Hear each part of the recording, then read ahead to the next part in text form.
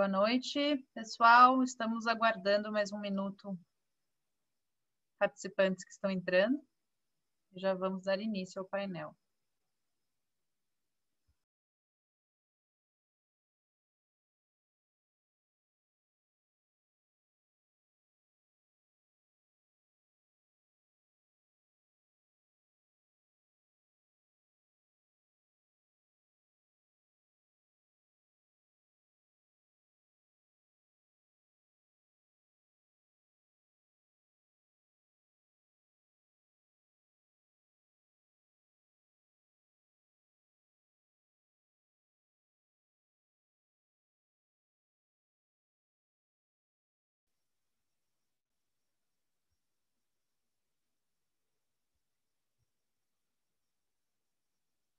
Bom, boa noite todas, boa noite todos.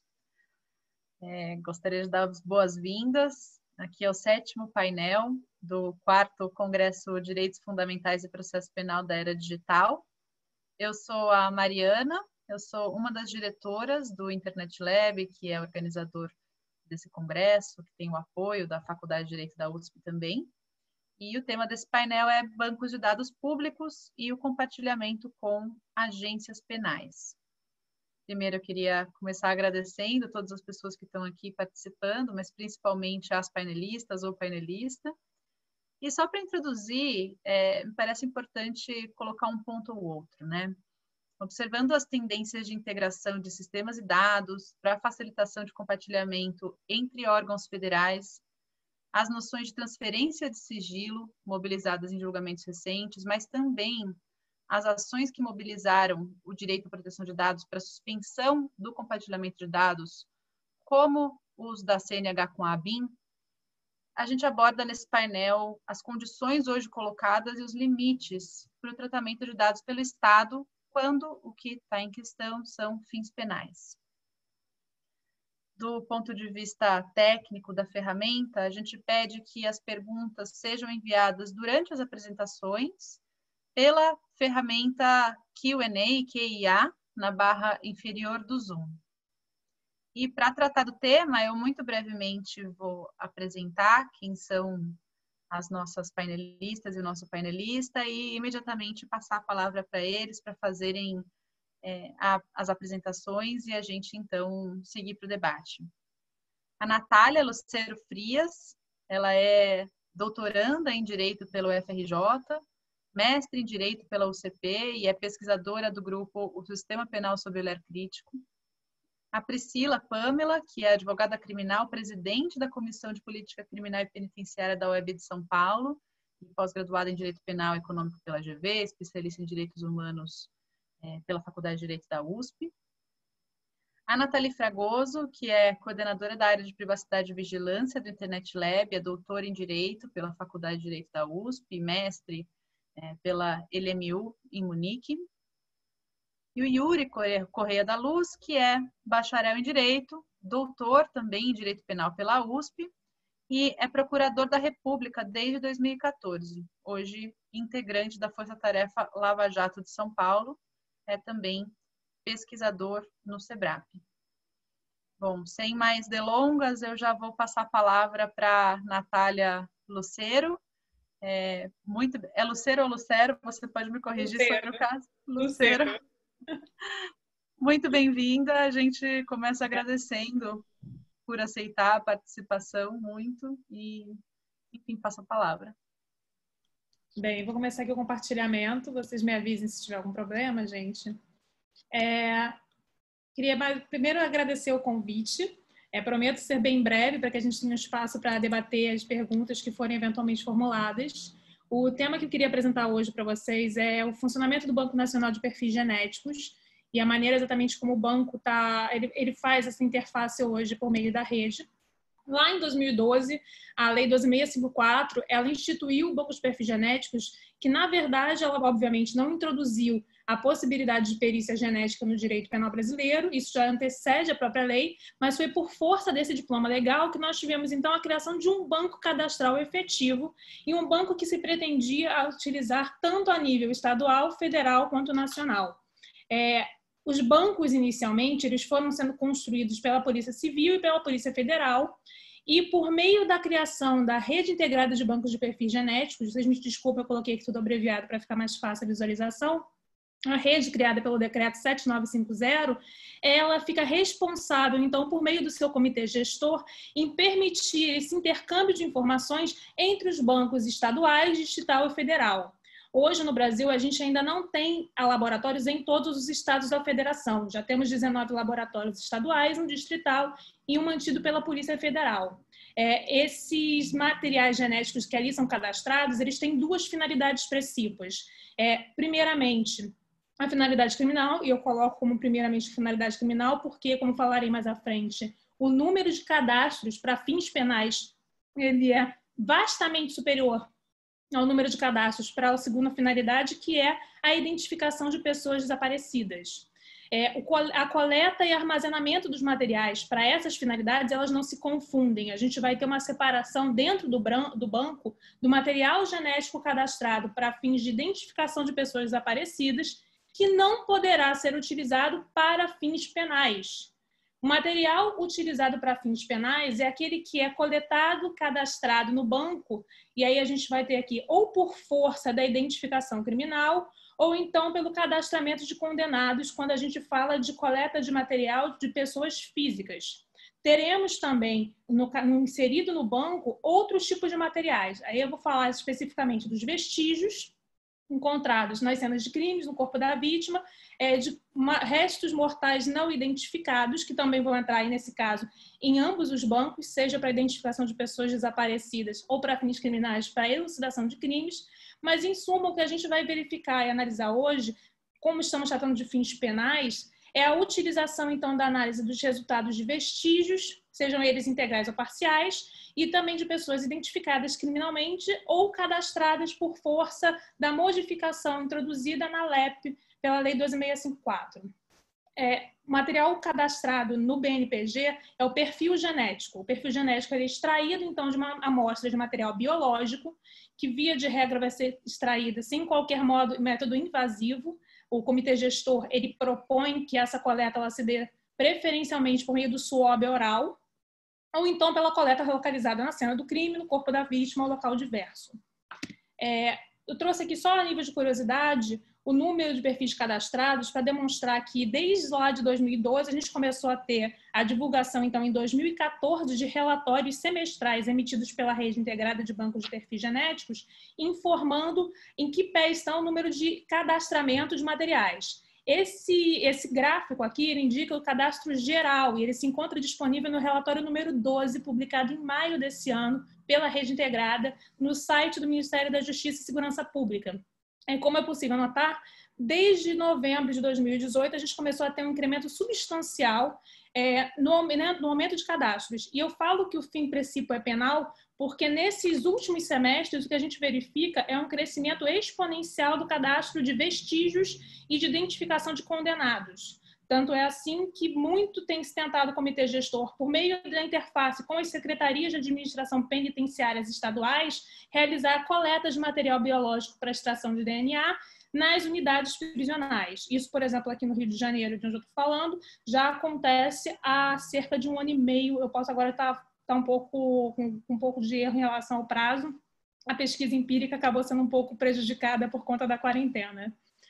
Mas, prosseguindo aqui, a gente vai verificar, então, o cadastramento de pessoas físicas no Banco Nacional de Perfis Genéticos vai se dar ou por força do artigo 9A da LEP, o cadastramento das pessoas, então, que cometeram crimes de considerados de natureza grave contra a pessoa, e, ou então crimes hediondos. Essa extração ela vai se dar via de regra dentro, quando hoje, no momento em que a gente está como já a lei está em vigor e por força das modificações introduzidas pela Lei 13.654, essa coleta ela vai se dar no momento da entrada do ingresso do apenado no estabelecimento prisional. Caso não tenha se operado nesse período inicial, ela pode ser feita de acordo com a previsão instituída pela Lei 13.654 em qualquer momento da execução. É, e aí o parágrafo 1 do artigo 9A estabelece expressamente que o banco de dados tem que ser sigiloso. Essa previsão ela vai ser ecoada também na Lei 12.037. E com relação à possibilidade de acesso, Os dados inseridos, então, no BNPG de pessoas condenadas, eles podem ser, então, acedidos, podem ser consultados pela Polícia Federal ou Estadual, desde que com requerimento do, feito, dirigido ao juízo. É, em tese, o que a gente tem que ter é uma, uma preservação do sigilo dessas informações que vão ficar ali é, catalogadas. O artigo 5 da Lei 2037 é o que institui a possibilidade, então, no seu parágrafo único, da identificação para fins de, para fins de identificação criminal, ou seja, eu não tenho aqui uma pessoa condenada que está sendo cadastrada no banco, mas sim uma pessoa que responde a algum processo, está sendo investigada. E, obviamente, que se coloca aqui que essa possibilidade de identificação genética, ela se institui na hipótese narrada pelo artigo, pelo artigo 3 inciso 4 quando há alguma necessidade específica para fins de investigação e elucidação de caso. É, por força do recorte ora proposto aqui, eu não vou adentrar tantas das discussões problemáticas que a gente hoje enfrenta tratando do Banco Nacional de Perfis Genéticos. Mas uma das grandes dos grandes embates que se coloca é a possibilidade de utilização dessa informação genética no mesmo processo em que se obriga a pessoa a fornecer aqueles dados. Se a gente teria aqui ou não uma possibilidade de forçar, de compelir alguém a produzir provas contra si, violando no contender. Bem, Sobre o, o, acesso às informações inseridas no banco de perfis genéticos, essas informações elas são sigilosas, elas vão ser utilizadas então pelos, pelo comitê gestor, acessadas por eles com frequência, porque é o comitê gestor quem tem que fazer esse intercâmbio, diferentemente do que problema que a gente tem hoje, por exemplo, com as identificações civis, com o RG, em que não há esse intercâmbio de informação entre os estados, pela existência da rede e dessa estrutura integrada, é possível verificar se o mesmo material genético foi cadastrado em diferentes unidades da federação. Por exemplo, se tem vestígios diferentes em outros estados que coincidam com uma mesma pessoa. A verificação dos matches ela pode se dar ou entre vestígio indivíduo ou entre vestígio vestígio, quando a gente fala de fins criminais. E aí eu coloco aqui indivíduo de, de forma genérica, seja identificado criminalmente ou então o condenado que foi obrigado a fornecer material genético para fins de cadastro. É, a proteção a essas informações, o sigilo é, delas, ela não, só, ela não é resguardada pela Lei Geral de Proteção de Dados, porque diz, é, o dispõe o artigo 4 expressamente que a finalidade de segurança pública, segurança nacional, atividades de investigação e repressão de infrações penais afasta o sigilo dessas informações no sentido de que não há necessidade de anuência daquele titular das informações pessoais para que se utilize aqueles dados para fins penais. Bem, tratando especificamente do tema da troca de dados, que eu acho que é, esse, é essa ideia do recorte inicial de hoje, é, é, importante ressaltar que não é só a autoridade nacional, a autoridade pátria, que tem acesso às informações constantes do banco de perfis genéticos. Hoje, por força de vários acordos internacionais de colaboração mútua, é possível que a, Interpol forneça dados para conferência e troca direta. É, o padrão vem, seguido, vem, sendo seguido já há alguns anos. Inclusive, nesse mesmo relatório 12 da Rede Integrada de Perfis Genéticos, há uma descrição muito sucinta de como esse intercâmbio de informações é feito. É, inclusive, eles narram, o, a Rede Integrada fornece alguns exemplos de casos em que foi obtido match genético, essa coincidência de material com um perfil fornecido pela, por, pela, pelas agências penais estrangeiras e que foi com um perfil coletado aqui no Brasil. Então, a gente verifica hoje que, por conta desses acordos internacionais, é muito possível a utilização dos dados pessoais genéticos, tanto pela autoridade pátria para fins penais, quanto pelas autoridades internacionais. Essa troca de informações ela vem sendo admitida e ainda não é objeto de muito debate, digo, na parte jurisprudencial.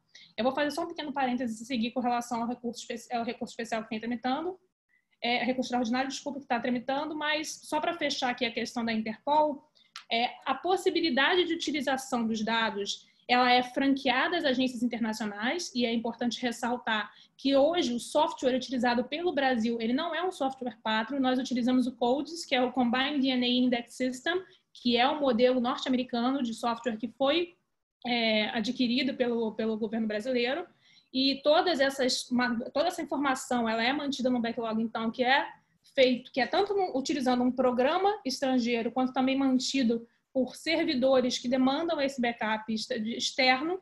Então essa informação ela fica realmente acessível não apenas às agências penais pátrias mas internacionais. E o Brasil, além de permitir esse acesso, essa, essa troca de informações, é, em 2020, no, em maio desse ano, permitiu também a inclusão de mais de 12 mil perfis, 12 mil perfis catalogados de vestígios e de restos mortais não identificados no banco próprio mantido pela Interpol. Então, é, nesses, nesses pontos específicos, o que a gente verifica é que as informações genéticas, apesar de hoje a gente ter um banco cadastral unificado e, obviamente, unificado, eu digo, com as informações unificadas por intermédio da rede, mas com laboratórios mantidos em diferentes localidades espalhadas pelo país, nós temos também a possibilidade, é, de, por força desses acordos de colaboração, de fornecimento das informações genéticas sem anuência, com conhecimento ou concordância das partes, a órgãos internacionais. É, sobre, para tentar fechar aqui dentro do tempo que me foi franqueado, sobre a questão do banco de perfis genéticos, é, eu acho que é necessário fazer pequenos parênteses com relação a algumas das críticas existentes. É, o uso da prova genética necessariamente é uma realidade. Não coloco aqui em questão a análise genética por conta da fiabilidade muito mais é, considerável da prova genética do que qualquer outra.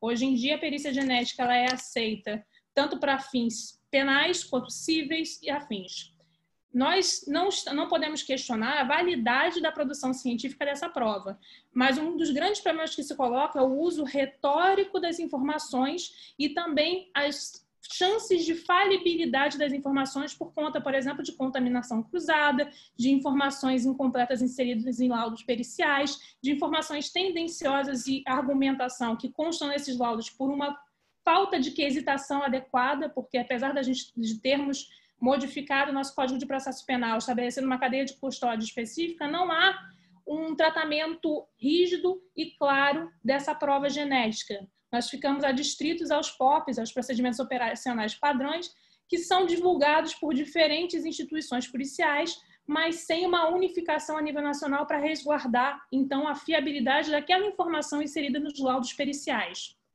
E o que hoje é uma, a grande questão levantada, é o tema 905 do STF, por força do RE 973837, da relatoria do Gilmar Mendes, que veio do Estado de Minas Gerais, é a questão tanto do cadastramento quanto da manutenção dessas informações genéticas no BNPG. É, por conta exatamente dessa, violação, dessa possível violação ao direito de não se autoincriminar, e porque se verifica que há uma coercitividade inerente nesse cadastro de material genético. Se nós formos falar especificamente da cadastro de pessoas condenadas, é, existe toda uma discussão que permeia a possibilidade ou não de anuência de uma pessoa inserida numa instituição total de concordar com, em fornecer o seu material biológico para a extração de DNA. Mas superando essa, esse simulacro de, de possibilidade de anuência ou discordância, Fato é que a introdução do parágrafo 8 no artigo 9A, que transforma em falta grave a, a, a não fornecimento do material biológico a, para fins cadastrais, demonstra essa imposição, essa ausência de liberdade por parte do apenado de decidir ou não se deseja ter seu material inserido no banco de perfis genéticos. Então, o que se discute no RE é se há possibilidade efetiva de inserir aquelas informações, considerando, por exemplo, o precedente da Corte Europeia de Direitos Humanos, que entende que a proteção ao sigilo das informações genéticas é resguardada pelo direito à privacidade, tanto que há na, o caso da condenação do, do, Reino Unido em razão do cadastramento de DNA de pessoas que eram inocentes, não lendo-se aqui como inocentes não condenadas, porque entendia-se que a supressão dessa parcela da privacidade não era admissível, salvo quando fosse resguardar alguma, algum fim penal.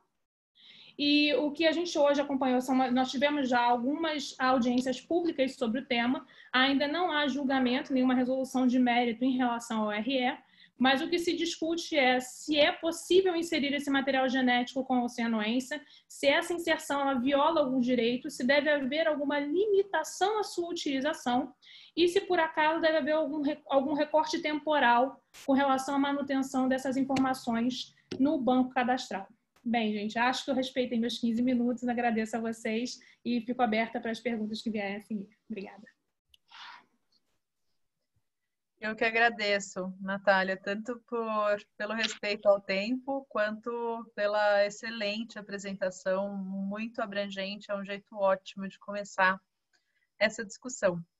Eu vou passar para a Priscila Pamela fazer as considerações dela, lembrando a quem está assistindo que aqui na janela Q&A, Q&A, é possível enviar perguntas e a gente vai selecionar algumas no final para ler para as discussões. Então, Priscila, por favor, obrigada. Muito obrigada por aceitar também a participação. Imagina. Boa noite a todas e a todos. Agradeço aqui muito o convite para tentar, de alguma forma, trazer mais dúvidas do que qualquer outra coisa, já que tudo é tão novo, né? A tecnologia tem avançado numa, na medida em que nós não, tem, nós não conseguimos avançar na mesma forma na legislação. Então, nós estamos aqui batendo cabeça para conseguir chegar num consenso em que as tecnologias sejam favoráveis né, no, no, na questão da persecução criminal, mas que ela respeite especialmente os direitos e garantias individuais. E esse é o grande tabu. Essa é a grande questão, essa é a pergunta de um milhão. Né, eu acho que, enfim, vocês devem estar acompanhando os diversos painéis, é, então eu acho que deve ter sido dito isso por várias vezes, que a LGPD ela acabou sendo inspirada no modelo da União Europeia, né, sobre proteção de dados, e ela está diretamente ligada à autodeterminação informativa, e isso é muito importante. É, o, Supremo tem entendido a, a, proteção de dados como um direito autônomo e independente, relacionado à intimidade, mas para além disso, um direito único, um direito autônomo mesmo, porque ele está definitivamente ligado a essa autodeterminação informativa, né? Então, é, passou a ser entendido como um direito fundamental para proteção da interferência do Estado, né, de forma deslegitimada.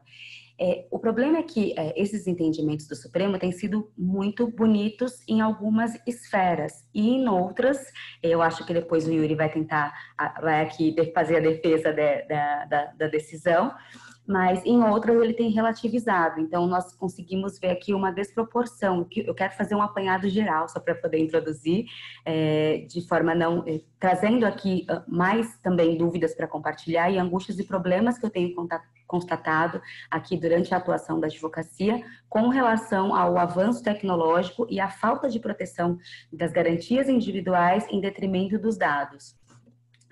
É, e então, é, eu estava só voltando aqui às decisões do Supremo, é, a medida provisória 954, que previa aquele compartilhamento de dados entre as empresas de telefonia e o IBGE, teve suspensão, né, foi, a, a, houve a suspensão dessa medida. É, e porque se entendeu ali que o compartilhamento não atendia finalidade, necessidade, proporcionalidade. Então, de uma forma muito criteriosa, a análise ali no STF, nesse sentido, para a proteção do direito ao dado, do direito à autodeterminação, como garantia fundamental. É, da mesma forma, uma decisão do Gilmar, na DPF 635, que contesta a aplicação do decreto 10.046 de 2019 esse decreto autoriza o compartilhamento de dados entre a administração pública federal, federal e diversos outros poderes da União, no tocante ao compartilhamento de dados é, do, do, Denatran com a ABIN. Aqui também ele se entendeu que a, a, a questão tinha sido, havia sido posta de uma forma muito ampla, é, o, as informações de mais de 76 milhões de pessoas constantes ali dos cadastros é, inerentes ao Denatran tinham a ver com, com políticas de proteção e de direito é, com relação à autodeterminação de lei estadual, lei federal vinculada ao transporte. E essas, essas informações serem compartilhadas com a BIM de forma super ampla, sem qualquer relação, extrapolaria ali todos os limites, não é? Então, por essa razão também, ali de uma, de uma forma muito dura, muito, muito convicta, o, o STF se manifestou. E aí vem a, a, a questão do COAF, em que ao meu ver, né, sendo advogada criminalista, eu acredito ser uma das maiores invasões, né, tá mexendo com dado da Receita Federal, dados fiscais, dados, é, enfim, procedimentos ali administrativos, todos esses podem ser compartilhados e aí também fugindo, sem a, a necessidade de uma determinação, autorização judicial para a finalidade do compartilhamento, sempre uma análise é, criteriosa a, a, em relação a isso. Então, aqui nós não conseguimos entender bem a equivalência do direito à garantia individual e do direito à, à eficiência pública. É, e esse conflito, evidentemente, que vai existir por diversas oportunidades. O que nós não podemos partir do pressuposto é que o interesse público sempre vai se sobrepor ao interesse, à garantia fundamental de, de proteção ao dado pessoal. É porque o dado é meu e eu tenho o direito ou não de, de fornecê-lo, de deixar ser compartilhado, de saber qual tipo de tratamento esse dado vai ter, de saber para quais agências esses dados serão compartilhados, enfim, quais as, o que, qual a finalidade de cada agência a partir é, do, do recebimento desse dado é que eles serão utilizados. Então, para umas questões de mais no âmbito administrativo e civil, o Supremo foi mais garantidor. E no âmbito criminal, em que há a imposição de medidas muito mais restritivas e de medidas muito mais graves na vida do indivíduo, o Supremo relativizou com essa decisão na questão do compartilhamento de dados do COAF. É, e uma das alegações utilizadas ali era que é, essas, essas, essas, esse compartilhamento entre o, do, as companhias telefônicas e o IBGE, da mesma forma que o Denatran com a BIM, eles impunham, eles impunham ali um risco de vigilância massiva, não é, das pessoas, a falta de ciência do titular dos dados a autorização desse titular dos dados para esse uso diverso, não é? Falta de informação sobre o tratamento a ser realizado, como eu acabei de falar, é, e sobre quais essas agências que estariam ali envolvidas, e principalmente a falta de governabilidade sobre esse dado. E esse é o ponto fundamental, como eu falei no início, porque nós estamos falando de autodeterminação informativa eu sou a proprietária do dado, então eu tenho que ter a governança sobre ele.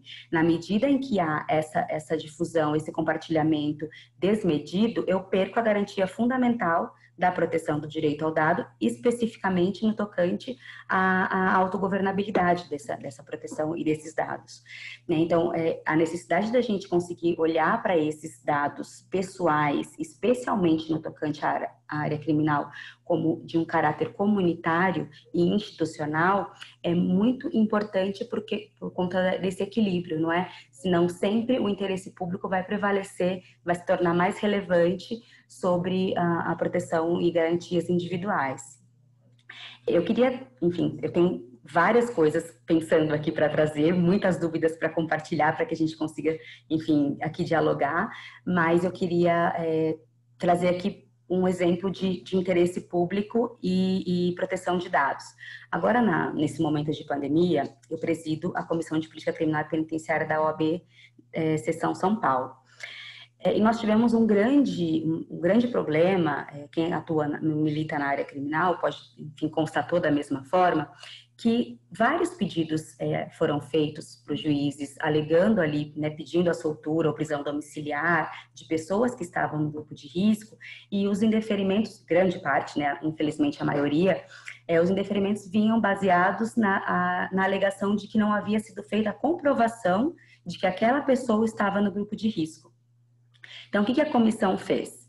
É, ela, poxa, mas assim, como é que não tem comprovação, né? E aí vai consultar o Tribunal de Justiça, olha, de fato, os juízes não têm acesso é, a essas informações médicas de cada pessoa que adentra a unidade prisional. Então, nesse momento, você olha e fala, poxa, olha o quanto é importante, de fato, que se haja o compartilhamento de alguns dados. Olha o quanto é importante nesse momento, pelo menos é, nós evitaríamos o tipo de, de alegação e de, de de pedidos, dizendo que não havia comprovação, já que o dado poderia ter ser de fácil acesso a esses magistrados. É, e aí a gente tem que pensar em como é que vai tratar esse dado, se como dado sensível, se para além do dado sensível impor uma proteção ainda maior, que ao meu ver é, é bem isso que teria que ser feito. É, mas o fato é, não houve esse tipo de compartilhamento e isso gerou um dano muito sério, porque a, a, lista, a OAB fez o quê em, em, relação a isso? Oficiou a SAP e pediu a informação dessa lista contendo ali o nome das pessoas que estivessem no grupo de risco e a patologia relacionada. E é, esse é um ponto.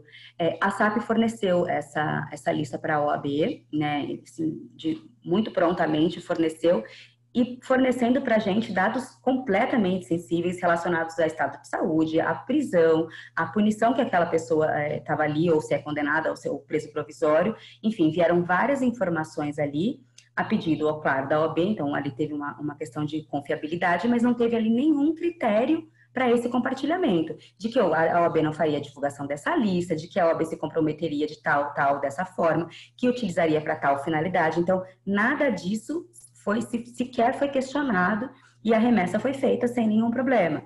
É, a OAB, de posse dessa lista, fez a divulgação para os advogados da informação de que estaria de posse dessa lista e com a comprovação do mandato, ou seja, com a procuração específica daquela pessoa, a OAB faria a, a consulta para dizer, olha, está não, ou não está no grupo de risco e te encaminho o, o, o print com a, a lista da SAP que contém exclusivamente o nome dessa pessoa desde que comprovado é, mediante procuração. Então, nós criamos ali, não sei se foi o melhor dos critérios, mas pelo menos um critério que pudesse dar proteção aos dados de todas aquelas pessoas, de mais de 25 mil pessoas que estavam ali naquele grupo de risco e que tinha direito de, de ter revisto ali, de ter analisado o seu pedido, comprovando a sua situação.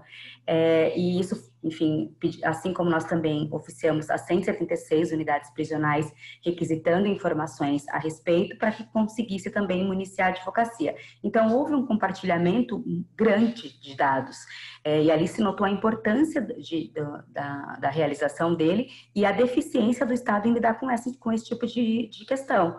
É, com a ineficiência no tocante a não haver possibilidade de juiz é, conseguir diretamente com a SAP, e o problema de ser divulgados para a OAB, por exemplo, sem qualquer critério, sem qualquer análise sobre aqueles dados tão sensíveis, que para mim é além de sensível, ao meu ver, é para ao meu pedido, né, atendendo a um pedido feito pela presidente de uma comissão. Então, é, note-se aí que poderia ser divulgado amplamente no site, nós poderíamos ter feito uma divulgação de forma muito irresponsável e colocando ali não só as questões de saúde, mas nome com dados e informações é, é, inserindo ali um maior ciclo ainda de discriminações e de problemas que essas pessoas já estão inseridas, né? E depois, em algum momento, eu não sei quanto tempo eu ainda tenho, é, eu queria falar um pouquinho desse conflito, desse problema da divulgação. Quatro, tá? É, eu não sei se eu, é, a gente é, é a fala inicial e depois tem tempo para perguntas, né? então eu vou tentar introduzir rapidamente mais um, um tópicozinho. É, para além desse, desse caso, eu pensei em trazer também para vocês a questão presunção de inocência, a finalidade da pena da ressocialização e essa propagação, essa divulgação, esse compartilhamento de dados. Quando é que a gente, é, quando é que eles ultrapassam esses limites? Por exemplo, se nós tivéssemos divulgado esses dados de forma ampla, com certeza nós estaríamos ferindo ambos porque é, a pessoa, várias pessoas que estão no grupo de risco estão condenadas, não estão condenadas ainda, estão respondendo ao processo. Quando a gente faz esse tipo de divulgação, essas pesquisas se tornam tão simples, assim como é feita pelo Jus Brasil, nós estamos acabando com o princípio da presunção de inocência, porque nós estamos retirando dessas pessoas a condição de responder a um processo de forma sigilosa, de forma determinada, porque vai aparecer lá que ela está no, no, no sistema prisional. Da mesma forma, as que já cumpriram pena, né? Você faz uma pesquisa no Jus Brasil, por exemplo, você faz o nome da pessoa, ele te dá um histórico do processo, com as publicações sobre o caso. Então, qualquer um tem esse fácil acesso. Em que medida a publicidade pode ser tão superior, ter uma relevância tão maior do que o direito aí já não é nem mais só a privacidade do dado, né? nem a autodeterminação, a autogestão daquele dado. Mas, para além disso, o princípio da presunção de inocência, ele completamente desfigura a, a, finalidade da pena da ressocialização e reinserção social, já que ele está ali te impondo muito preconceito, muita discriminação e, muita, e diversas vezes impossibilidade de, de reingresso em mercados de trabalho e fere, enfim, ele, ele, ele, ele vai ferindo, né? Ele vai, ele vai a cada vez mais a gente acaba não pensando, poxa, é, é importante, né, nessa época de pandemia foi importante algum compartilhamento, mas se de forma irresponsável, eles poderiam ter trazido muitos malefícios. Então, conseguir pensar em legislações muito específicas para cada, cada compartilhamento, de cada questão, de cada dado referente a processos criminais, a investigações criminais é essencial, porque senão a gente vai colocar de fato ali é, uma pedra sobre a possibilidade de, de, de, de vida sem aquelas máculas que um processo criminal traz. É, só para finalizar, eu, dei, eu falei do Jus Brasil, porque eu tenho um caso concreto que aconteceu há, há um mês atrás. Eu tenho um, um, mês atrás, a segunda vez, né? Um cliente é, fez uma pesquisa, trabalhava numa instituição financeira, falou: eu não posso ter problemas com relação a processos, e está aparecendo meu nome quando eu ponho no Google pelo Jus Brasil. Nós notificamos a Jus Brasil e eles se retiraram. É, e aí, por alguma razão, ele já tinha, ele havia ele soube disso porque ele foi chamado na empresa que fez essa pesquisa. E aí alertaram ele do que tinha acontecido e, e pediram para ele explicações. É, nós pedimos, eles retiraram do site. Só que uma nova publicação saiu e eles de novo é, disponibilizaram o teor dessa publicação. Ele chegou a ser mandado embora, não se sabe ao certo se tem alguma relação ou não com esse problema, mas ele, o fato é que ele perdeu esse trabalho e arrumou um outro também no ramo de gestão financeira. Ele falou: olha, isso não pode continuar na internet porque eu, eu posso perder o meu segundo emprego. E aí nós notificamos novamente e eles disseram: olha, mas a cada publicação nós não temos muito o que fazer. E aí pedimos decretação de sigilo de justiça. É algo que é inimaginável, é um inquérito policial, tá? Não, não haveria qualquer necessidade de se pedir sigilo num procedimento investigatório mas as publicações relativas a esse inquérito estão sendo disponibilizadas sem qualquer critério. Né, na, na, na, na no direito alemão e no, na Convenção Europeia, eles trazem ali um critério trifásico de análise para poder compartilhar esses dados, para poder disponibilizar dados. É, eu acho que é importantíssimo mesmo, porque senão a gente vai caminhar aqui cada vez mais para um Estado muito mais autoritário e que impõe muito menos garantias e muito mais retrocessos. Né? Então, o que é para ser um avanço tecnológico, que é para ser um avanço na busca de efetivação de direitos e de investigações mais, né, bem, melhor conduzida, nós vamos levar ali para máculas e para registros que são, enfim, não, não, não tem mais volta. É, eu acho que eu estou dentro do tempo, desculpa se eu ultrapassei um pouquinho. É, enfim, tem outras coisas que a gente vai falando ao longo do, do debate. Ótimo, foi perfeito no tempo e agradeço também por essa fala tão concreta e com o caso da experiência, me parece que complementa bastante a visão anterior e eu já sem mais passo para a Nathalie Fragosa fazer as considerações dela, então, nos próximos 15 minutos também. Obrigada, Mari. Boa noite, pessoal. É um prazer participar agora aqui como painelista do Congresso. Eu quero começar a minha fala com uma pergunta e eu quero terminar a minha fala com essa mesma pergunta. Por que é que o compartilhamento de dados entre órgãos do Estado pode chegar a suscitar preocupações, pode chegar a ensejar limites? Quando a gente observa o debate sobre esse tema, né, há muitas pessoas argumentando, e, e, com razão, né, sobre o ganho de eficiência, sobre a necessidade de evitar a duplicidade de registros, a desatualização dos registros, a importância dessas informações para o planejamento adequado do Estado, para a formulação de políticas públicas que sejam de fato capazes de endereçar problemas sociais complexos. Esses motivos são todos motivos razoáveis, a gente precisa de fato refleti-los né, e reconhecer a pertinência deles. Mas eu sugiro que a gente olhe não para a questão de se esses dados, se essas informações podem ser efetivamente compartilhadas, mas olhe para questões mais talvez mais desdobradas dessa, né? Que informações podem ser compartilhadas, com quem podem ser compartilhadas e para que podem ser compartilhadas. É adequado pensar que os órgãos dos estados, né, cada qual como um processador, um tratador de dados, eles eventualmente não necessitem ter o conhecimento total sobre a identidade do seu cidadão, sobre aspectos da identidade do seu cidadão. Eu parto dessa possibilidade, então, e eu quero passar pelo contexto regulatório que regula hoje em dia esse compartilhamento de dados. Quero falar um pouco sobre as tensões que aparecem entre esse contexto regulatório anterior LGPD e LGPD, e depois eu entro especificamente no que hoje em dia regula a transferência e compartilhamento de dados relacionado a, a, fins penais, ainda que de maneira fragmentária, dispersa, porque não tem ainda uma lei que dê conta desse fenômeno de maneira sistematizada. E aí eu retorno para essa pergunta: por que é que o compartilhamento de dados entre órgãos de Estado pode gerar preocupações e seja limites? E eu começo então pelo decreto 10.046 de 2019, que foi editado no ano passado com a finalidade de facilitar o compartilhamento de dados e promover a consolidação de atributos biográficos biométricos por meio da criação desse cadastro base, né? ou seja, uma plataforma que integraria, integraria bases de dados de diferentes órgãos, né, bases que servem a diferentes políticas públicas para promover essa consolidação de atributos biométricos e biográficos. Chama atenção aí já um pouco essa tensão, né, esse choque de termos com que a gente entende que são os termos ali presentes na LGPD. Esse, esse decreto, aliás, ele expande as hipóteses autorizativas desse compartilhamento, ele dispensa a celebração de convênios, de acordos de cooperação técnica e instrumentos do tipo, e ele pretende, então, facilitar o compartilhamento de dados entre os órgãos de administração pública, mas que, além disso, com outros poderes também.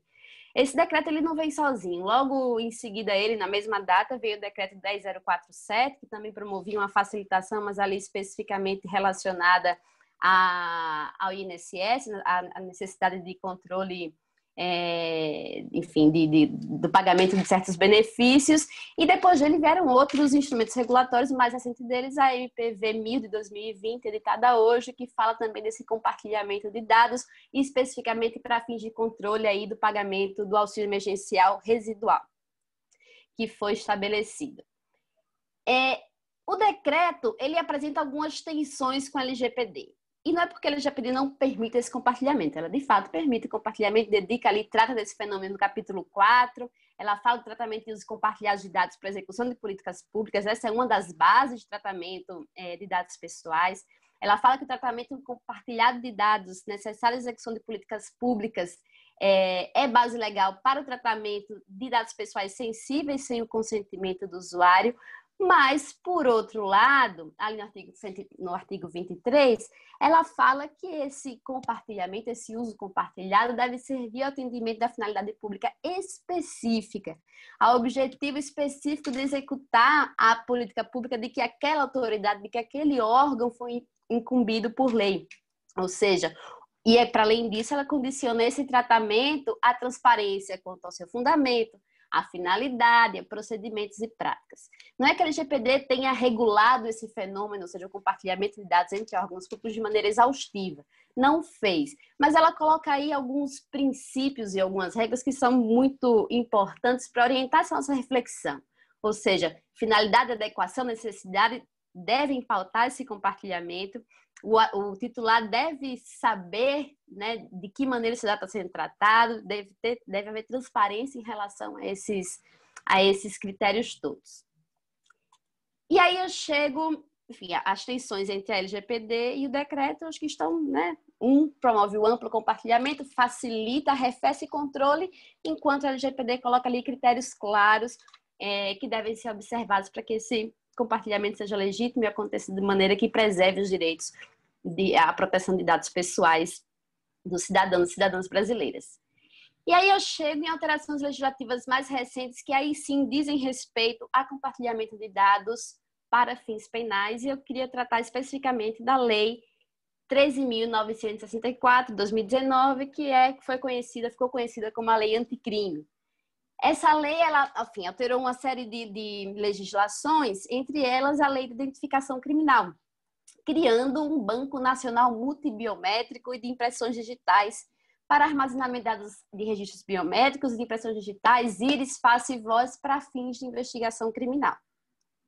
Esse, esse banco de dados ele deve ser alimentado com registros colhidos em investigações criminais ou por ocasião da identificação criminal, com dados de presos provisórios, dados, e aí a, a preocupação, dados geridos ou coletados por órgãos dos poderes executivo, legislativo e judiciário das esferas federal, estadual e distrital, inclusive os dados que foram colhidos pelo Tribunal Superior Eleitoral e pelos institutos de identificação civil.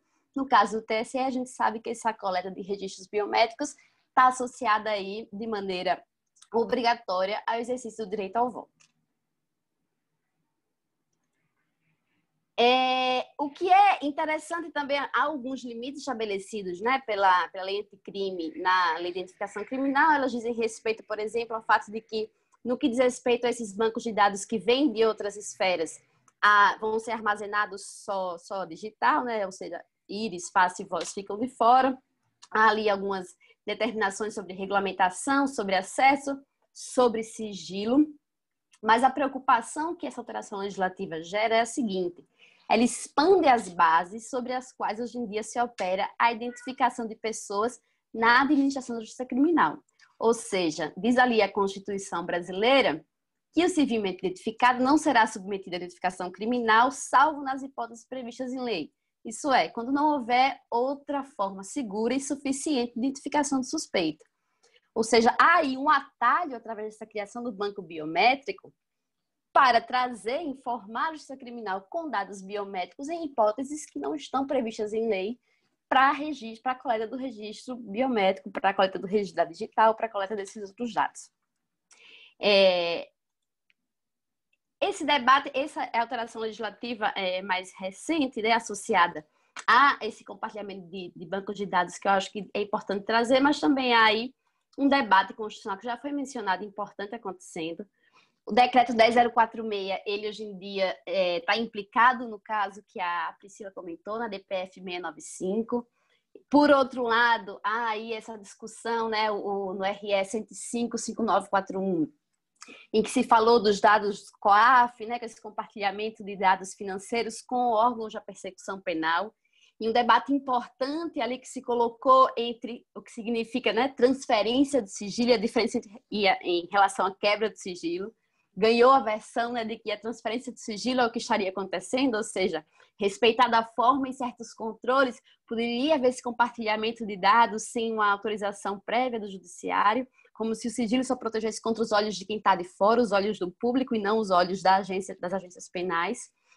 Mas há também aí um processo de amadurecimento do, do STF no que diz respeito à proteção de dados, e eu acho que também já foi mencionado aqui a DIN 6387, em que se falou ali da, do direito né, autônomo à proteção de dados pessoais e a necessidade, as obrigações que estão aí, é, que daí decorrem relacionadas à segurança, transparência, condições de preservação dessa autonomia informacional. É, eu quero voltar agora àquela, àquela primeira pergunta, né? Por que é que compartilhamento de dados pessoais entre órgãos do Estado pode gerar preocupações? Se a gente pensa que, ó, que informações que são colhidas para assistência social, informações que são colhidas para saúde, informações que são colhidas pela segurança pública, informações que são colhidas pelos diferentes órgãos dos estados, no exercício das suas respectivas competências, podem ser todas fundidas. O nível de conhecimento que se dá aos atores dos estados sobre os indivíduos é totalizante. Então, aí surgem os riscos de perfilamento, os riscos de discriminação, surgem os riscos de danos que são muito dificilmente reparados. E quando a gente fala especificamente né, da finalidade penal a que está associada aí, a competência específica das agências penais, eu digo tanto órgãos de segurança pública quanto órgãos de investigação, a gente está falando justamente do braço do Estado que maiores danos podem implicar. Né? A gente está falando de restrição de liberdade, a gente está falando de pena, a gente está falando desse tipo de dano. Então, também e sobretudo para fins penais, é que a gente deve pensar sobre pensar esses princípios né, de proteção de dados, pensar como que eles se aplicam, pensar que é necessário se conhecer quem controla os dados, conhecer a base legal do compartilhamento, conhecer a finalidade para que ele conhecer e justificar, né, ter justificada a finalidade para a qual esse compartilhamento pode ou não ser permitido, ter justificada a efetiva necessidade desses dados, ter justificada uma série de outras coisas que já, já são conhecidas já por nós, porque estão aí associadas a esse regime geral de proteção de dados e que não podem ser esquecidas, portanto, na tarefa específica de regulamentar o compartilhamento com agências penais. Eu acho que eu mantive aqui meu tempo. Ainda tenho uns minutinhos, Mari? É, dois, bom, eu acho que tem aqui algumas balizas né, que aparecem e aparecem já um pouco desse debate internacional, porque, enfim, o Brasil começa agora né, a pensar de maneira sistematizada o acesso a essas informações, né, a construção desses limites entre os órgãos dos estados, no momento em que, como eu dizia, né, a tendência é a integração, a tendência é a facilitação do compartilhamento, mas nos lugares em que esse debate acontece, são as preocupações associadas, por exemplo, a essa troca de dados aqui.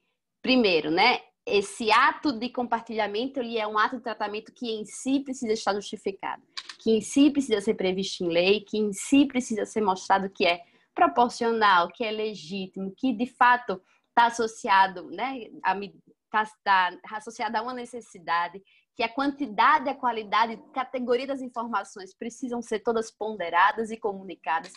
É, e aí, como consequência né, desse exercício de ponderação de todos esses elementos, a gente observa fora do Brasil, e é isso que eu acho que a gente precisa observar aqui também, que as garantias relacionadas à proteção de dados hoje em dia são condição de efetividade das garantias penais e processuais penais. Né? Se a gente não cuida desses dados que informam a justiça penal, né? que informam o poder penal, a gente não cuida da forma como eles entram e como eles saem também, porque a Priscila trouxe um caso muito interessante de danos recorrentes de dados gerados pela justiça criminal. A gente não olha para isso, as garantias penais processuais penais terminam sem dentes, terminam ineficazes. Então, acho que é essa relação que está colocada. Proteção de dados para que haja garantias penais, para que haja garantias processuais. Obrigada. Eu que agradeço, Nathalie, pela fala. Eu vou passar a palavra para o Yuri Luz fazer as considerações dele. Em seguida, a gente abre para o debate. Já temos algumas perguntas aqui no QIA, lembrando a audiência que é possível enviar questões e a gente vai, se não for possível ler todas, selecionar algumas, juntar algumas para ler ao final. Yuri, por favor. Obrigado, Mari. É, antes de agradecer ao Internet Lab pela possibilidade de participar desse painel. Para mim é uma grande alegria poder participar com gente tão qualificada a respeito de um tema que realmente acho que está na pauta do dia e a troca de conversa aqui com certeza ajuda a gente a avançar um pouco nesse debate, né? Eu acho que eu vou frustrar um pouco as pretensões daqueles que imaginam que, enfim, sou do Ministério Público, eu tenho uma visão assim muito pró compartilhamento. Na verdade, é, eu tenho muitos pontos de concordância com a fala das é, que me antecederam e acho que talvez a única diferença que eu tenho em relação a alguns pontos é, mencionados sobre o COAF, mas especificamente é, a minha fala, eu vou tentar fazer uma provocação para que a gente é, pense em um outro foco a respeito do qual é, eu acredito que precisa haver uma reflexão grande quando a gente está preocupado com essa tensão entre privacidade e segurança, né? Quando a gente normalmente fala de é, quem se preocupa com essa tensão e com direitos à privacidade, a gente normalmente vê pessoas que estão monitorando debates legislativos, então sobre é, bancos genéticos, a discussão que se coloca é, em termos de sua constitucionalidade. A gente olha muito para a jurisprudência que se desenvolve a respeito tanto da legislação aprovada quanto de casos concretos de investigação, então possibilidade ou não de uso de GPS para monitoramento policial, possibilidade de acesso a conteúdo de celular é, obtido a partir de contexto de flagrante, enfim, acho que são planos, né, esse plano de debate legislativo e o plano de discussão jurisprudencial muito importante para avaliação e aprimoramento da nossa compreensão sobre direito à privacidade, mas não são só nesses planos em que decisões muito importantes sobre privacidade são tomadas no nosso país. E eu acho que assim, a fala da Priscila falou de um plano muito importante, interinstitucionais, né? então compartilhamento de dados, tanto é, com base legal quanto com base em convênios de intercâmbio de informação, quando cartórios, Detrans, COAF, Receita, sistema bancário compartilha dados é, que são considerados, enfim, é, da esfera privada de um cidadão, ou mesmo são considerados dados relativos a um aspecto específico da vida pública dele. Acho que essas relações interinstitucionais são também planos importantes que a gente precisa monitorar. E a fala, é, tanto da Nathalie quanto da Priscila, colocaram isso muito, é, muito bem feito. Eu gostaria, no entanto, de chamar a atenção para um aspecto que acho que é muito negligenciado ainda no nosso país, que diz respeito às relações, digamos, intrainstitucionais, né, que envolvem muitas vezes disputas entre atores de um mesmo órgão e que muitas vezes têm consequências gravíssimas para o direito à privacidade das pessoas. Eu vou tentar falar um pouco nesse tempo que me cabe sobre um caso específico que deveria estar no radar, a meu ver, de todo mundo que se preocupa com esses temas e, infelizmente, acabou se perdendo na conjuntura da, da disputa, enfim, político-institucional do país. É, eu não sei se todo mundo sabe, mas em 13 de maio desse ano, a Procuradoria-Geral da República expediu ofícios às três forças-tarefa da Operação Lava Jato, em Curitiba, no Rio de Janeiro e em São Paulo, requisitando as suas respectivas bases de dados. Né? É, eles especificamente pediram que fossem enviados todos os dados, estruturados ou não, tudo que foi colhido até então e tudo que for colhido a partir daquele momento, alegando que isso se daria com o objetivo de, enfim, é, subsidiar a atuação de atividades de investigação da PGR, atuação de coordenação é, de atividades do Ministério Público em geral, análise de recursos, etc. Essas bases de dados, assim, para a gente ter até clareza do que a gente está falando, é, são verdadeiros é, monumentos de informação é, de, cidadão, de cidadãos investigados no país.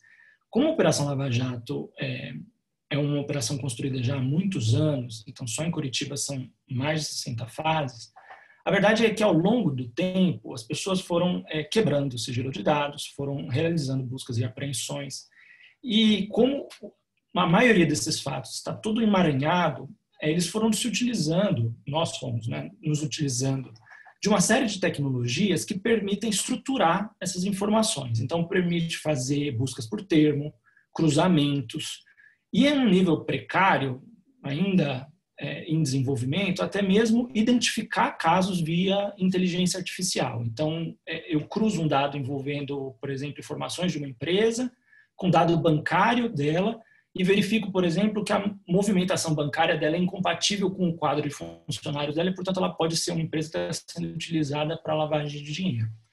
É, essas bases, portanto, incluem um enorme número de informações que vai desde dados de fontes abertas até realmente dados obtidos é, por meio de quebras sujeitas à reserva de jurisdição. Algumas, inclusive, de fora do país, via pedidos de cooperação internacional, cooperação, informações espontâneas, etc. Exatamente porque envolve uma série de dados sigilosos, as forças-tarefa responderam à PGR dizendo que não poderiam encaminhar todos esses dados sem autorizações específicas e negaram, portanto, esse compartilhamento. Só que, em razão disso, a PGR achou relevante ajuizar uma reclamação em face de todas as forças-tarefa, aduzindo basicamente dois argumentos, que estão muito nesse horizonte que foi mencionado pra, pela Nathalie e pela Priscila.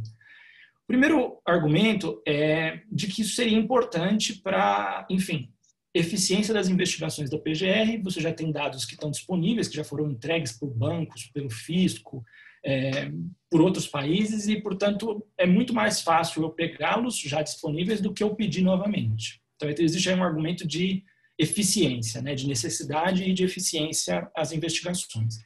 E um outro argumento que foi utilizado, que seria como que de cabimento, é, do, desse compartilhamento amplo é a ideia de princípio da unidade do MPF. Né? Então, assim, o Ministério Público é regido constitucionalmente por alguns princípios, unidade, independência funcional, indivisibilidade, e segundo a PGR, o princípio da unidade colocaria uma noção de que esses dados, quando são entregues é, pelo judiciário, ou na verdade com autorização judicial pelos diversos órgãos, eles não pertencem ao procurador X mas sim a instituição Ministério Público. E como a Procuradoria-Geral da República é o ápice da instituição, ela poderia ter franco acesso, livre acesso a esse conjunto é, gigantesco que foi contabilizado recentemente como mais de 13 terabytes de informações, é, sem necessidade de autorização específica. Né? Essa reclamação foi objeto de uma liminar por parte do ministro Dias Toffoli, concedendo acesso as bases de dados. É, a PGR começou a extrair esses dados de Curitiba, não chegou a extrair tudo e não chegou, portanto, às bases de dados de São Paulo e do Rio, porque logo na sequência, no final do recesso judiciário, a liminar que tinha sido concedida pelo Dias Toffoli foi revogada pelo Fachin. Mas como a PGR agravou dessa decisão, a questão hoje pende de decisão no STF do colegiado. Ou seja, a gente está aí diante, isso é uma coisa que eu queria chamar a atenção, de uma disputa que parece muito corporativa, quase, né, de tensão institucional entre órgãos do Ministério Público, mas que, se a gente for tentar voar acima dessa conjuntura, a gente vai ver que ela afeta fortemente direitos fundamentais do cidadão. E acho que a gente precisa ficar atento a isso quando a gente tem uma preocupação com direitos à privacidade. Né? É, a primeira coisa que eu queria chamar a atenção é para o fato de que esse, esse existem vários problemas no raciocínio da PGR. Né? O primeiro dos problemas é ignorar um pouco que essa noção de compartilhamento amplo, fundada nesse princípio da unidade, subverte muito da mecânica de proteção da privacidade no processo penal é, que a gente conhece. Né? Como que funciona é, a, a, proteção à privacidade no processo penal?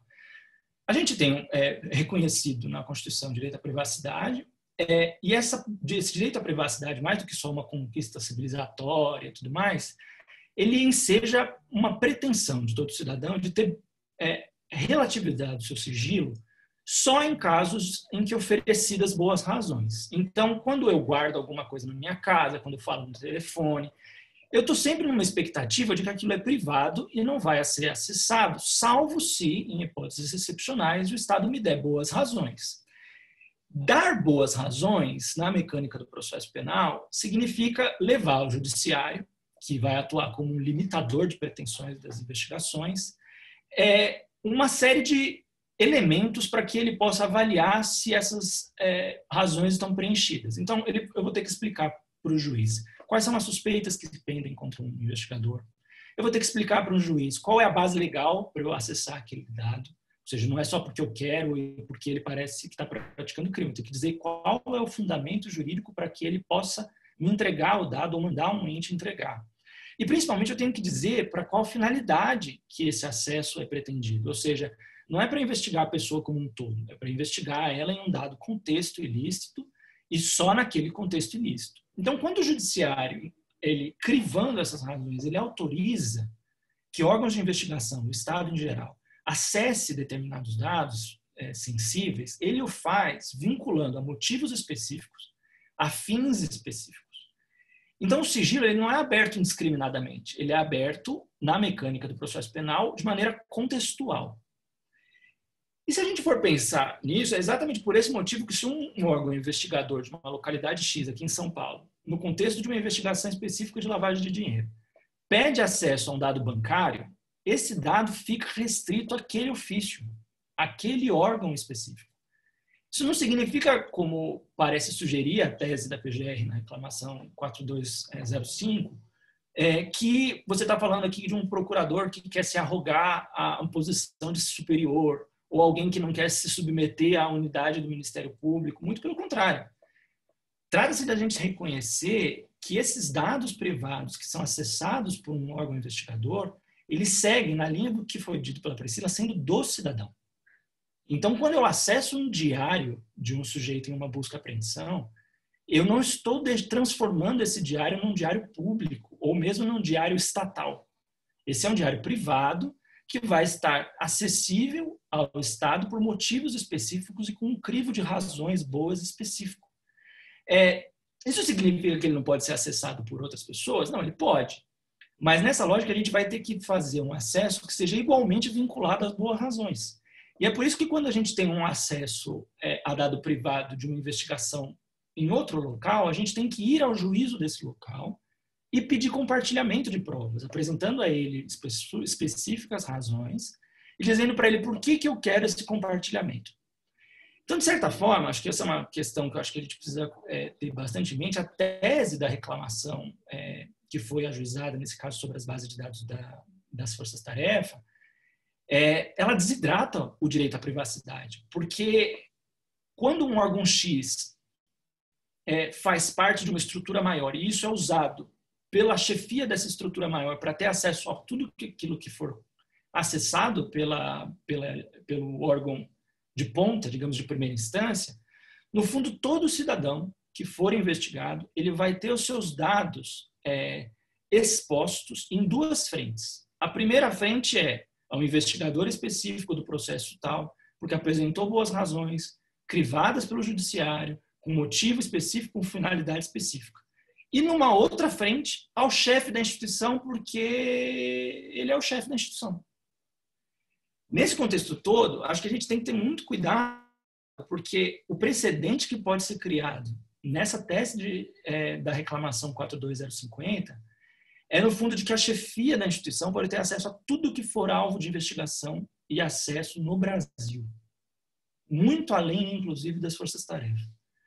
É, isso significa que a gente não pode pensar em conciliar privacidade e eficiência de modo algum. A gente tem mil formas de é, conciliar isso. Então, uma coisa que às vezes é muito difícil no Ministério Público é, é você saber o que, que outras pessoas investigaram. Ou seja, se existe, por exemplo, em algum lugar do país uma base de dados bancária envolvendo a Mariana. Só que você pode construir, digamos, um data lake que não me deu dado da, de acesso bancário da, da Mariana. mas pura e simplesmente numa forma quase que de metadados, diga, olha, em algum lugar do país existe uma investigação que abriu acesso a, Mari, a, a dados bancários da Mariana. E aí, se você quiser acessar esses dados, você vai primeiro no Data Lake, descobre o que existe, descobre qual é o processo, qual é o juízo, e você vai lá e oferece as suas boas razões ao juízo específico que autorizou esse acesso, e ele criva isso e verifica se é possível dar. Ou seja, você consegue, esse é, é o meu ponto, pensar em estratégias de maximização de eficiência que não impliquem em absoluta desidratação do direito à privacidade. Você pode criar mecanismos, e aí mesmo acesso à data lake tem que ser alvo de log de acesso, tem que ter controle, tem que saber por que, que a pessoa está querendo investigar, ela tem que colocar o CPF dela, etc. Mas a gente não precisa, digamos, violar amplamente o acesso das pessoas, única e exclusivamente com argumentos de eficiência ou mesmo de unidade de institucional. E aí, me encaminhando ao final mesmo, já nos meus 15 segundos de, de conclusão, é, a gente pode, enfim, estou aberto à discussão, mas acho que a gente precisa muito olhar para isso no Brasil. No Brasil, várias das decisões importantes sobre privacidade estão sendo é, tomadas em âmbitos que parecem para a gente briga corporativa, disputa política de poder, e às vezes coisas muito graves para a privacidade de todo mundo, enfim, para o próprio desenho institucional sobre compartilhamento de provas, compartilhamento de informações entre órgãos, é, ficam fora do nosso radar. Né? E às vezes a gente até olha as disputas entre instituições e esquece que existem disputas travadas dentro de instituições, entre diferentes setores, e que podem ser importantes e criarem precedentes muito perigosos. Então, acho que isso é uma coisa importante da gente pensar. É isso, obrigado pelo, pela atenção e desculpa, atrapalhei 30 segundos do tempo. Imagina, foi excelente você passar por esse caso. É, eu tinha lido algumas considerações suas, né, mas foi extremamente elucidador é, ouvir falar sobre isso e tem perguntas também. Eu tenho perguntas aqui para todas, todos vocês. É, eu pensei em fazer dois blocos e me parece que algumas das questões que foram colocadas, apesar de terem sido direcionadas para pessoas específicas ou é, durante a fala de alguém específico podem ser respondidas por outras pessoas também. Então, vou fazer esses dois blocos e pedir para vocês fazerem considerações se quiserem, tá? Se alguém não quiser falar em um dos blocos, é, tranquilo, tem perguntas para todo mundo. É, eu vou começar aqui. Teve duas perguntas mais específicas durante a apresentação da Natália é, uma do Guilherme perguntando o que, que explica o crescimento de número de perfis cadastrados no BNPG, e outra é, perguntando se o modelo brasileiro é algo, outra do Manuel perguntando se o, o, modelo brasileiro é algo que é autóctone ou se existe, ou se se faz parecido em outros países, como que é. Vou seguir um pouquinho. É, teve perguntas aqui durante a fala da Priscila e para a Priscila, é, falando, perguntando se, na perspectiva dos órgãos de persecução e controle, o acesso à base de dados pessoais sensíveis permite, contraintuitivamente, a realização de investigações mais efetivas e focadas. A pergunta, desculpa, é: se havendo controle de acesso efetivo, não se reduziria o risco de desrespeito a garantias fundamentais?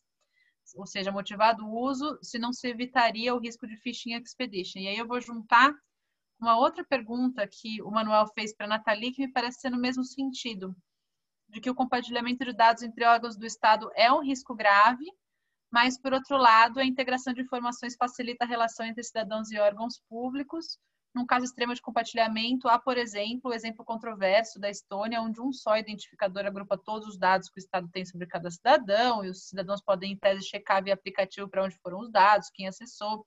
Se nessa relação entre proteção à privacidade dos cidadãos e controle dos cidadãos sobre os próprios dados, onde que seria possível encontrar o ponto de equilíbrio, né? Então, são duas questões aí sobre é, equilíbrio entre, é, vamos dizer, valores contraditórios ou objetivos contraditórios.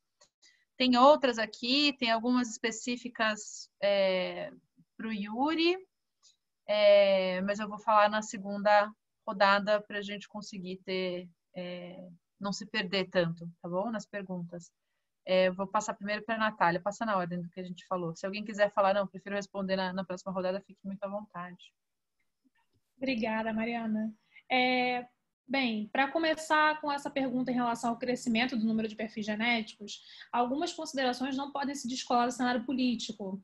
É, se a gente parar para pensar e analisar o projeto de o projeto propagandeado durante a campanha presidencial do, do Bolsonaro lá em 2018, um dos tópicos principais que ele vinculava era o investimento que faria para a expansão e utilização do Banco Nacional de Perfis Genéticos. Até ali, até 2017, início de 2018, apesar do banco já ter alguns anos de existência, não era um tópico tão aventado mas por força dessa campanha favorável à expansão que veio já, na, já durante a campanha e se demonstrou realmente efetiva durante a gestão Bolsonaro, que a gente verifica é que houve um aporte financeiro considerável. É, ele começa a aumentar um pouquinho durante o governo Temer, mas é incrementado exponencialmente durante a gestão Bolsonaro, tanto para fins de aquisição de reagente para realização de análises, de, equipa, de equipa, é, para equipamentos dos laboratórios estaduais, federais e distrital, como também para colocação de servidores, funcionários específicos para poder então realizar essa coleta de material genético. O aumento do banco ele vem então como uma das medidas que foi propagandeada no período eleitoral e que se confirma como uma das premissas utilizadas para tentar seguir esse modelo de luta contra a criminalidade, esse modelo de lei e ordem que a gente pode falar um pouco tupiniquim que está sendo adotado hoje. Então, me parece que por ser um crescimento exponencial apenas para fins criminais, a gente pode dizer que essa, esse argumento da luta, com, da luta pela tentativa de identificação de autores de delitos ela está linkada a esse viés político.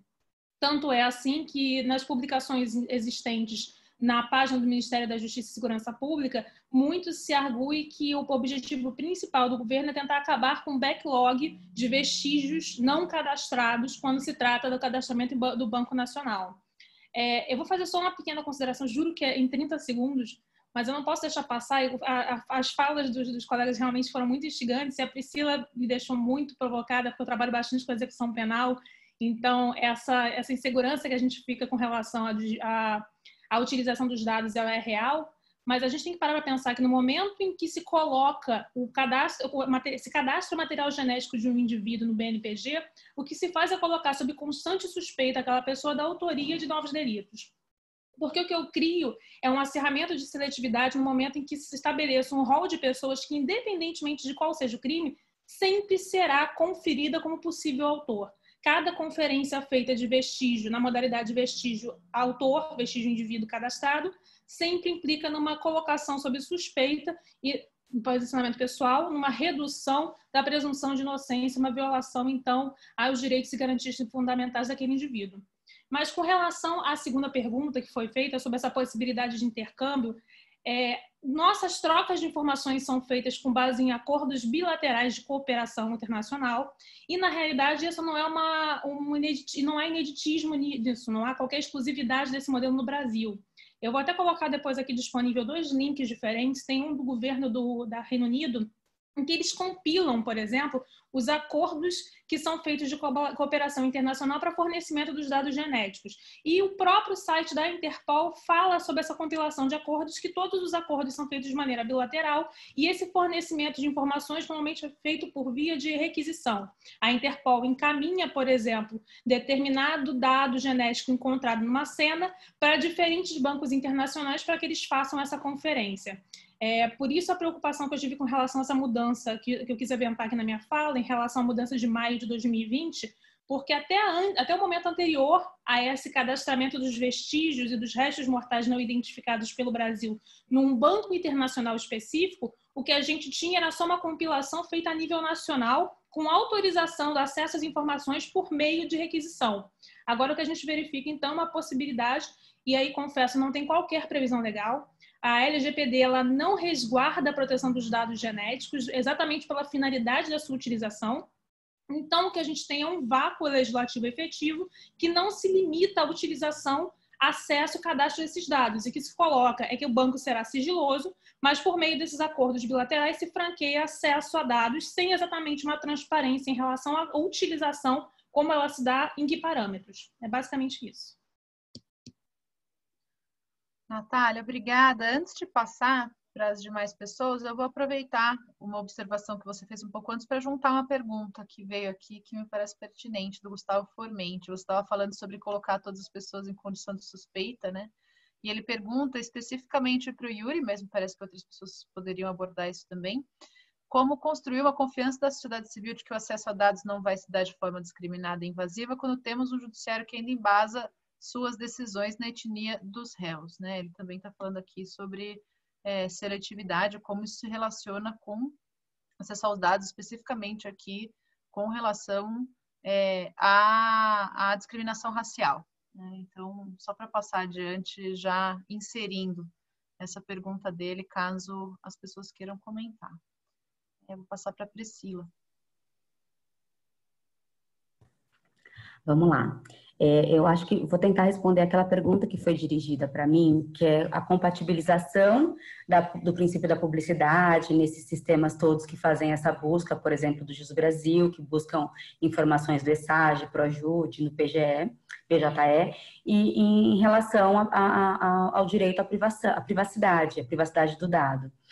É, é super difícil essa pergunta, porque eu acho que a gente nós estamos ainda caminhando para isso. E eu acho que nós vamos ter que fazer muito um equilíbrio mesmo. Por exemplo, na Espanha, há uma proibição para a divulgação de dados criminais relacionados à pessoa que tenha envolvimento criminal.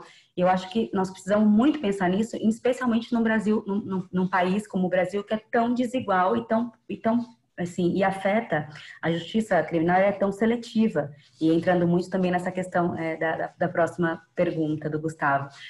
É, é, essa falta de critério, essa falta de análise que acaba ferindo direitos muito maiores em detrimento da publicidade, é, não me parece mais que seja razoável. Né? É, nós estamos tratando, o exemplo que eu dei aqui foi de um inquérito policial.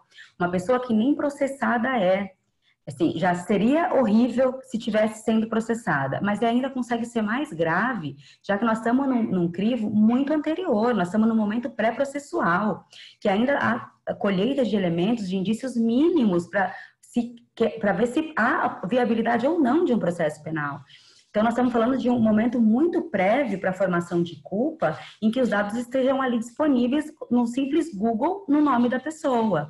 Então, é que, que publicidade é essa que afronta e que atinge diretamente outros tantos direitos e garantias. É, então, acho que nós precisamos pensar a partir desse olhar de que, de que tá, nós estamos fazendo uma, uma, uma baliza aqui dos princípios. Então, essa publicidade está ferindo muitos outros princípios e garantias fundamentais. É, e eu acho que no, nós não podemos mais lidar com ela dessa forma tão irresponsável como eu acredito que o Brasil tem lidado. Porque é isso, não se sabe ao certo se foi por essa razão que essa pessoa perdeu o emprego, mas pode ter sido. E aí, é, é, pra, esse, esse dano é, é, eterno. Né? A pessoa que sai do sistema, por exemplo, fica consta ali aquele nome, as pessoas não conseguem emprego. Que tipo de ressocialização nós estamos falando se nós inviabilizamos completamente o tipo de reinserção social? É, tem uma lei, um projeto de lei que eu até, é, curioso, eu marquei aqui para trazer para vocês, foi proposto esse ano, pelo DEM, em que fala de, de é, esquecimento penal, é o direito ao esquecimento penal, que em determinado prazo as informações não podem mais continuar é, em, em, em, mecanismos de pesquisa, né? Que assim, a, essas agências, todas esses, esses esses sites que fazem essa tipo de divulgação têm que se obrigar é, a partir de determinado momento, enfim, tem vários dispositivos, mas esse é um que eu achei incrível, é, para que é isso? É o direito ao esquecimento. Essa pessoa foi, foi praticou esse, esse fato, ela já tem a reabilitação, já tem cinco anos após. Por que direito é, a empresa privada, o, o, poder público tem de continuar divulgando é, esse, é, essa informação, esse dado que acarreta uma mácula é, eterna para a vida da pessoa? É, eu, vou até, eu vou tentar aqui, enquanto eu estou falando, achar o número do projeto para quem tiver curiosidade. É, enfim, eu, eu consegui essa informação hoje. E também importante aqui, vou mencionar uma outra lei para falar da amplitude, né? Aí já não desse outro que está ali pensando numa restrição, mas pensando numa outra, que é o SUS do, do sistema de segurança pública. Então, é uma lei que foi proposta para pensar no compartilhamento assim de diversas informações, e a Lei 13, essa está em vigor. Eu não consegui achar uma que, que conteste a 13675 de 2018. Concordo muito com o Yuri que o compartilhamento é importante, que a gente avançou muito, a tecnologia possibilita isso e traz ali uma segurança né, para a investigação criminal, mas ela precisa ser muito responsável e nós não estamos nessa fase de responsabilidade ainda. Divulgar esses dados, por exemplo, no Google, mostra o quão nós somos, nós somos mirim nessa questão ainda, divulgando informações que nós não, não, não paramos para pensar no quão deletério seria, o quantos princípios nós estaríamos ali é, ferindo, quantos, quantos direitos e garantias individuais nós estamos massacrando, a possibilidade dessa pessoa voltar para o convívio da sociedade de forma íntegra, de forma digna e de forma a possibilitar de fato uma integração. É, então, eu, eu deixa, deixa, gente, deixa eu pegar o número desse projeto de lei que eu acho, achei fundamental e é legal para que as pessoas possam conhecer também e pensar a respeito desse direito ao esquecimento, porque talvez seja uma, uma forma da gente tentar minimizar esses danos, não sei se essa é a única, mas pensar a partir desse olhar de, de, de balanceamento de direitos e entender que, nesse caso, a publicidade está aquém do que nós estamos falando dos direitos e garantias todos os demais inerentes à pessoa. Gente, o projeto de lei é o 4418 de 2020, que é isso, ele prevê, institui o esquecimento penal. Eu achei, enfim, muito importante para trazer. E, e, só entrando também na questão da seletividade, esses dados todos, nós sabemos bem a, o direcionamento né, desse acúmulo de, de, informações no nosso sistema que é tão seletivo. Não, isso é indiscutível. O sistema de justiça penal brasileiro, ele é seletivo, ele tem alvos específicos. E, e enquanto assim for, essa quantidade de informações para marcar perfis de quem pode quem não, porque passa a ser, esses aqui podem ser, é, potenciais, continuam a ser potenciais criminosos. Olha que lógica maluca. Então, enquanto nós não conseguirmos olhar para esses dados, tratá-los com a qualidade, com a responsabilidade, como eu falei lá, que a OAB né, teve ali a partir do recebimento daquela lista, com a responsabilidade e com todas as conferindo todas as garantias que a pessoa tem e, e não colocar sempre o interesse público em primeiro lugar, porque não é dessa forma que nós precisamos olhar, nós vamos correr sérios riscos ali de cada vez produzir maiores violações às garantias individuais. Desculpa se eu falei muito.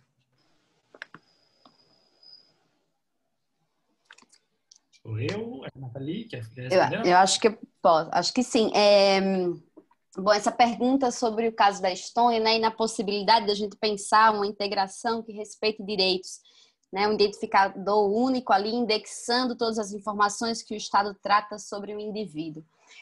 É possível, em tese, pensar um sistema em que há rígido controle de acesso, em que os atores todos, né, e aqui eu não estou falando só da instituição, mas, enfim, os atores responsáveis pelo tratamento do dado têm que explicar para quê, por quê, por que aquele dado é pertinente, por que ele é necessário, por que aquele uso é proporcional. Em tese, parece possível pensar nisso, mas aí eu coloco uma outra camada de problema que é o modelo desse ele incide sobre que contexto, né? E vamos pensar sobre o contexto brasileiro. Para começar, os cidadãos e cidadãs brasileiras não são igualmente suscetíveis à coleta de dados.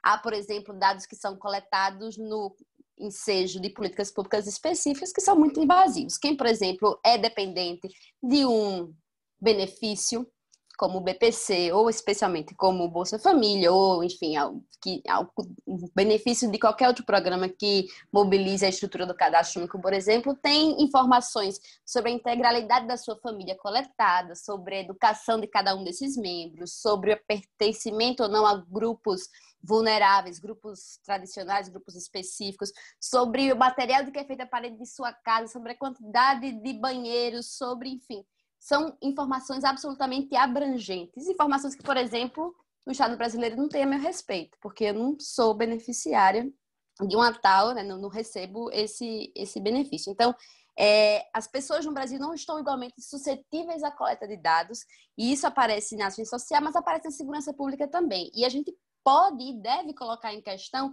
porque é que os dados são coletados na segurança pública, ou seja, estamos todos igualmente suscetíveis a abordagens policiais? Não, né? Já há informações hoje em dia no Brasil que nos permitem dizer que não, que há pessoas, há espaços urbanos mais vigiados e há pessoas mais vigiadas, e isso tem a ver com cor da pele, com vulnerabilidade é, social, não tem a ver, né? Enfim, com tem a ver com gênero, tem a ver com essas questões. Então, as pessoas não estão igualmente suscetíveis à coleta e as pessoas não estão em iguais condições também de, como foi mencionado na pergunta, exercer um controle efetivo sobre o acesso e uso que se faz dos seus dados. Né?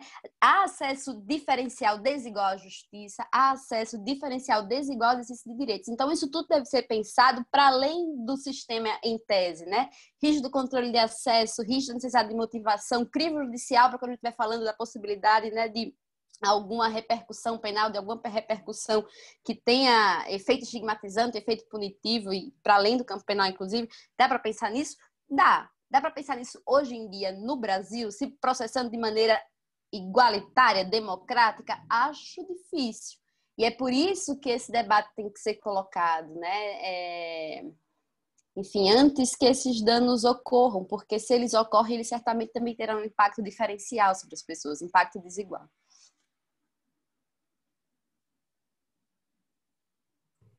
Eu vou pegar carona no que sou eu, então? Sou, né? Uhum. Eu vou pegar carona, na verdade, assim, tentando só pincelar aquilo que o, o Gustavo é, questionou. A primeira coisa que eu diria é, eu concordo totalmente com o que a Priscila e a Natália e a Natália disseram a respeito da seletividade do sistema. Eu tenho uma particular preocupação com a coleta de dados relacionados a é, perfil genético, Aliás, estou é, vendo até que entre os participantes está a Jaqueline Abreu. A Jaqueline Abreu já discutiu comigo algumas vezes, em alguns casos, sobre é, pedofilia e outras situações. E eu, por exemplo, no Ministério Público, tenho manifestado em alguns casos pela inconstitucionalidade ou pela discussão mesmo de é, evitar acessos, digamos, é, precoces, é, ou melhor dizendo, evitar coletas precoces de é, perfil genético quando uma pessoa ainda é investigada, na linha da Priscila, porque eu acho que assim a legislação quando prevê a ideia de é, possibilidade de coleta de perfil genético para alguns tipos de crime, ela imediatamente é, cola na discussão a discussão sobre é, qual é a clientela do sistema penal no Brasil e quais são as pessoas, portanto, que tendem a ser investigadas e processadas pelo sistema é, o que leva no limite a gente a, a pensar que parte dos bancos é, de dados que deveria ter um corte, digamos, razoavelmente isonômico, acabam sendo é, de corte racista ou de corte machista. E, então a gente tem, acho que tem que tomar um cuidado muito grande, porque parece que a gente está falando de algo que é sobre fatos, né? Então, coleta de perfil de agentes que é feito a partir de crimes, mas na verdade a gente tem um, um grupo de autores que costuma ser investigado, um grupo de autores que costuma ser processado. Então a gente tem que tomar muito cuidado, sim, porque a representatividade, é, digamos, desse desse perfil do banco de dados é em si é, um, um, elemento de legitimidade ou de ilegitimidade desse, dessa medida, né? Então se a gente tem algo pouco representativo, pouco diverso, a gente pode ter um, um problema assim quase de banco de dados lombrosiano para é, pensar mais ou menos nesses termos. Então eu concordo totalmente com, a, com, com as que me antecederam. Em relação às outras duas perguntas, que eu vou tentar aproveitar e já, já matar, a é, primeira delas eu queria dizer o seguinte, para o Manuel. É, não acho que os cidadãos devem tomar partido de disputa interinstitucional nenhum. Na verdade, a minha fala é, procura levantar uma, um alerta para que a gente tente sempre abstrair um pouco a conjuntura política de eventuais disputas institucionais e tente olhar para aquilo que vai permanecer após a, a, a conjuntura é, dissipar. Então, quando a gente está falando de uma disputa que pode envolver o agente X ou Y, a gente pode não gostar de nenhum deles. A gente pode, inclusive, entre uma disputa entre o fulano e o ciclano, ficar pela disputa. O problema é que se eles estão discutindo alguma coisa que vai permanecer depois, vai criar precedentes, vai criar é, julgados ruins, a gente tem que se é, policiar em relação à conjuntura, tem que tentar ver adiante dela, e a gente tem que se preocupar com aquilo que fica. E eu acho especificamente que nessa reclamação é disso que se trata. Você não precisa gostar de ninguém, mas você tem que tomar um cuidado para pensar qual é o modelo em disputa é, e qual é o que mais preserva direitos, o que mais garante é, nosso direito à privacidade, qual é o que embute menores riscos. E eu acho, inclusive, que os dois embutem riscos, mas um deles envolve riscos maiores, tá? E aí, falando um pouco é, desses riscos que estão embutidos no modelo que me parece que deve ser privilegiado numa disputa dessa, eu vou tentar responder a pergunta do participante anônimo. Eu acho que uma das coisas que não deu para abordar porque o tempo é curto é, é, que a gente existe, a gente tem que trabalhar essa coisa de acesso a dados é, sigilosos em, em chaves diferentes. A primeira chave é de acesso. Quando o acesso é legítimo? o acesso é legítimo quando você consegue entregar como Estado boas razões, na maioria das vezes que essas boas razões sejam é, crivadas por um terceiro, como é o caso do judiciário. Coisa diversa é a utilização. É, então, você pode acessar, tendo entregado boas razões, e lá no momento que você acessou, essa informação entra no seu ofício, entra no seu órgão, e você pode descobrir que ela é importante para outras coisas. Ela é importante para um outro caso que você não sabia que tinha pertinência com esse. É, ela é importante para uma outra ação, para uma ação não criminal, mas de improbidade. E nesses momentos, como a gente é, pediu o dado para finalidade específica, o que acontece na prática é, no processo penal é você pedir a autorização para o juízo que te deu acesso utilizar para outras finalidades que não é aquela que motivou a concessão. Então, se você descobre um crime, acha um dado bancário, esse dado bancário se mostra relevante para uma ação de improbidade ou para um processamento em outro feito, você pede autorização para isso. Isso já ajuda a gente a ter esse tipo de controle sobre por que, que precisa ou seja, você pode ter um, um, acesso, um acesso legítimo, mas ele ainda demandar outros tipos de controle no momento do uso. Essa é a primeira coisa. A segunda coisa é sobre, se, digamos, o fato de as investigações serem distintas é, e, e você está pedindo dados em procedimentos, em fases distintas da operação. Se você precisaria de uma autorização judicial para aglutinar tudo, minha visão é de que não, porque na verdade quando a gente fala de estruturação de base de dados, a gente está falando que a tecnologia vai ajudar você a fazer algo que você poderia, em tese, fazer com a sua cabeça, fazer manualmente. A única diferença é que a tecnologia consegue te dar cruzamentos que a sua cabeça, a sua memória, às vezes não dá conta de fazer. É, então, eu não acho que você precise de autorização para pegar algo que você acessou legitimamente, né, é, no ano 2000 e depois você acessou legitimamente algo em 2001. Tudo entrou legitimamente no seu ofício e você cruza essas informações, você poderia cruzar por memória, mas se você colocar isso em estruturação, em tecnologia, você ganha eficiência e qualidade e coisas como um grande esquema de corrupção aqui no estado de São Paulo pode ser descoberto que não seria se dependesse só da memória. Eu acho que exigir é, autorização judicial para a tecnologia fazer algo que a sua sinapse mental poderia fazer, eu acho acho que não há razão jurídica que nos demande isso. Acho que o que a gente tem que se preocupar de fato é com crivos o mais é, rigorosos possíveis em acessar uma informação e que essa informação se, é, seja utilizada nos estritos limites das razões que foram apresentadas ou se forem utilizadas de outra forma que você exija, que você exija outras autorizações, autorizações suplementares e por aí vai. Eu acho que desse jeito a gente consegue garantir privacidade, a gente consegue fazer com que o Estado não trate a informação privada como informação estatal, tão somente porque ela entrou num órgão estatal é, de investigação. Acho que isso é fundamental.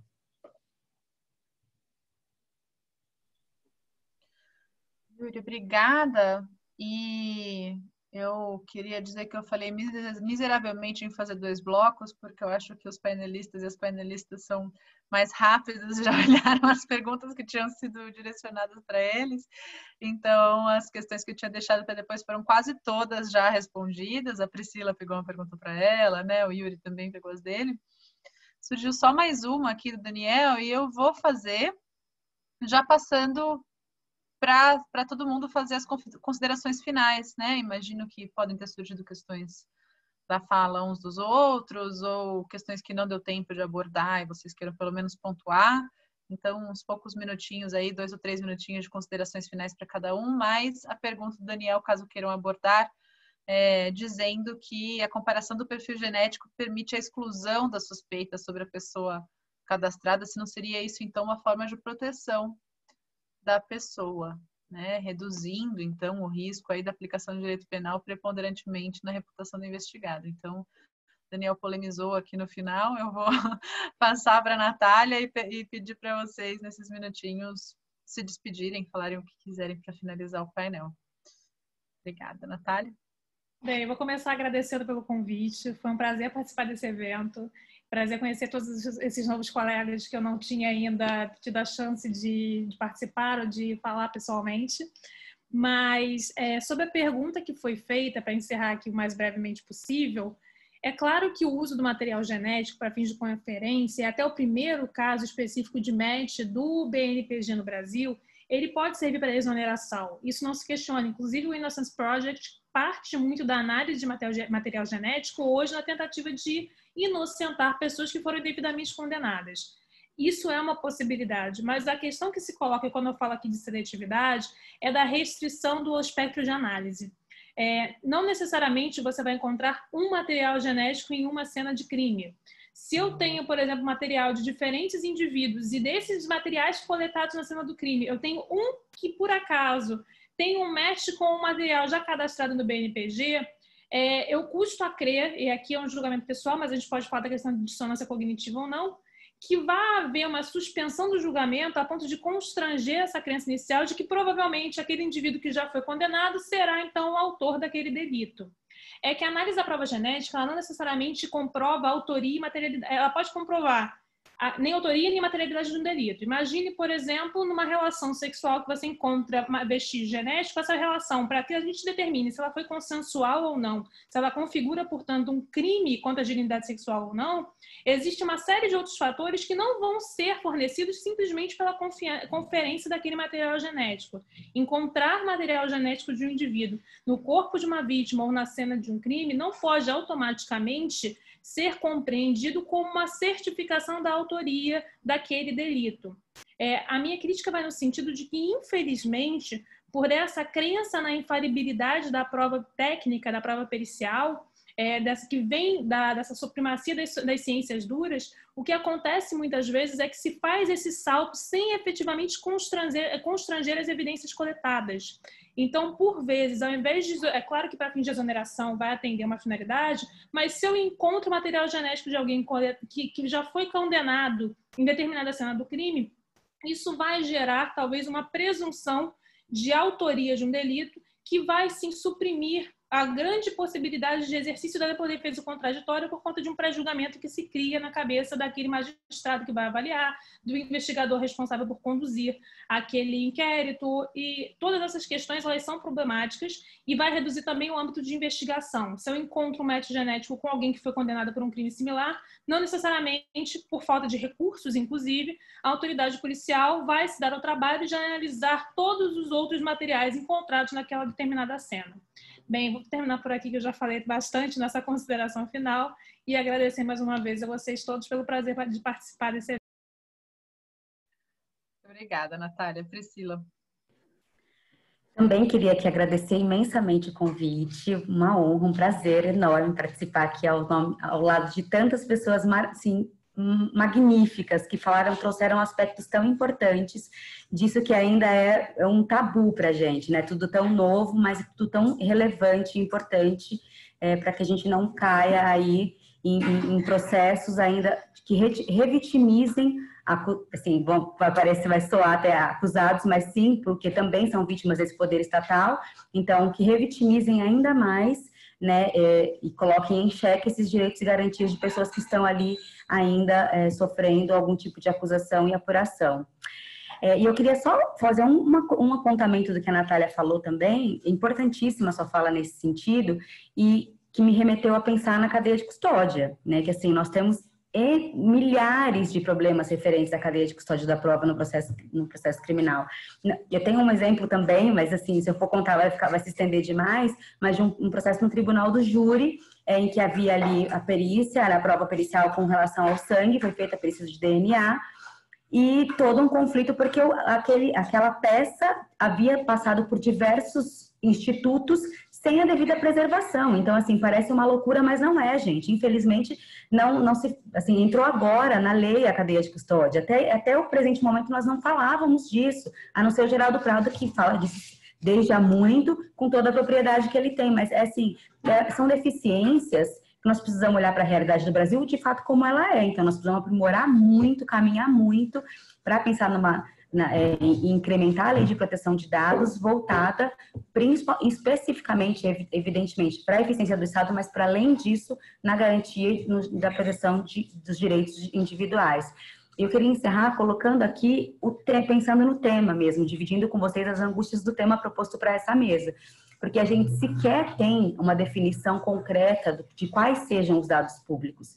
Né? Ela não diz, ela, ela faz menção que os dados pessoais de acesso público, mas ela não define exatamente quais são os dados públicos. Então, os dados públicos são aqueles produzidos pelo poder público e arquivados nos seus próprios bancos de dados, ou são aqueles que a própria pessoa titular do dado disponibilizam e o torna público? Quais são esses dados públicos? Quem tem a competência, a gente está falando aqui de agências penais, é, quem são as, as agências competentes para a regulamentação de um, de um caso ou de outro? Né? É, esses dados públicos, eles estão relacionados à segurança pública? Como? São sensíveis? São mais do que sensíveis? E como é que eles se enquadrariam? É, a gente não sabe sequer o que são as agências penais e quais são elas definitivamente. São aquelas que, produ que produzem os dados relacionados às investigações, à persecução criminal? ou não, ou são as, as outras agências que, é, que fornecem dados para os órgãos de segurança pública. Então, nós temos um, um, um âmbito aqui muito amplo e muito vago ainda. Nós precisamos avançar muito nesse sentido, muito, né, tratando o anteprojeto com uma comissão de juristas exemplar, assim, que eu tiro o chapéu, é, mas é isso, enquanto esses, essas questões não forem trazidas, não forem pensadas, isso tudo não for muito fechado, nós vamos estar sujeitando ali as pessoas a uma invasão de, de dos dados que são seus e uma invasão de, e uma afronta a garantias também individuais que, que podem, podem trazer efeitos ali é, muito, muito graves e muito danosos para um tempo assim determinado. É, então, desculpa, falei muito de novo, mas mais uma vez eu obrigar, agradeço, muito obrigada, e aqui cumprimentar todas e todos os participantes. Não Bom. muito, a gente agradece, Priscila, professora Nathalie. As outras pessoas começam agradecendo o convite, né? Eu peço desculpa pela ousadia de me convidar para falar aqui, dialogar com essas, enfim, com as demais painelistas e com o painelista, o, Yuri. É, a, também queria fazer um comentário sobre a fala da Natália. No passado a gente contou com a contribuição de uma keynote speaker, Caterina, que ela falava, ela explora justamente essa possibilidade que foi levantada na pergunta, né? Sistemas de vigilância em massa, ali não estava em questão vigilância genética, né? Estava em questão vigilância por imagens, é, podem promover a presunção de inocência? E aí a condição que ela colocava para isso está muito relacionada ao que traz a, a Priscila, né? Depende Depende, inclusive, se o acusado, o investigado, a pessoa que está sendo alvo, tem acesso integral e pronto a todos esses elementos de informação e pode fazer uso deles. Né? Isso não é também dado no Brasil. E também isso precisa ser levado em consideração. Né? Aqui uma série de limitações, tanto de ordem material como de ordem formal, para o exercício desse direito efetivo à defesa, para acesso a essas provas. Também nesse congresso do ano passado se falava ali, o Emanuel da Defensoria Pública falava da dificuldade de se obter imagens, a dificuldade de, de, de ter acesso a esses elementos que poderiam, em tese, exonerar. E aí, outra coisa que eu gostaria de comentar, assim, para finalizar, é que eu acho que há razões para a gente considerar esse compartilhamento, né, considerar de maneira diferente, nesse compartilhamento de bancos de dados ou de dados públicos que sejam produzidos no âmbito de outras políticas com a segurança pública, no âmbito de outras políticas com né, as agências que estão ali incumbidas em investigação e no processo penal, e para olhar também com cuidado, mas talvez com outras regras, para os dados que são é, produzidos na, no âmbito da segurança pública né, e do compartilhamento entre as agências que estão ali incumbidas de promover segurança pública e, por outro lado, também no âmbito da investigação criminal.